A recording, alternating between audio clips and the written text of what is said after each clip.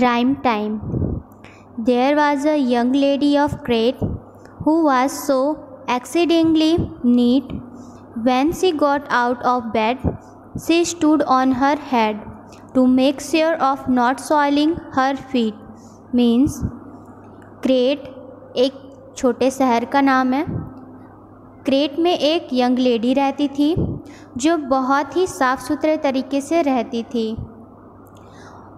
और वह जब भी अपने बिस्तर से सोकर उठती थी, वो अपने पैरों को धोती थी, जिससे कि वह जाँच सके कि उसके पैरों में मिट्टी या धूल तो नहीं लगे हैं। An epicure dining at Crewe one pound a large mouse in his stew said the waiter don't shout and wave it about or the rest will be wanting one too means एक crave नाम का restaurant है।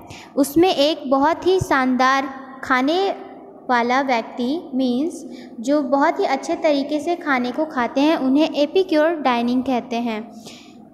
वो बैठ के उस restaurant में lunch कर रहा था। जैसे ही उसने अपना लंच शुरू किया, उसने अपने खिचड़ी स्टेव मीन्स होता है खिचड़ी खिचड़ी में एक बड़ा सा चूहा पाया।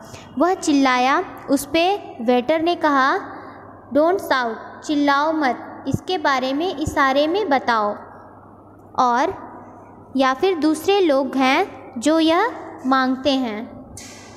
इस पूरे पोयम में एक शानदार शाही खाना खाने वाले इंसान के बारे में बताया गया है।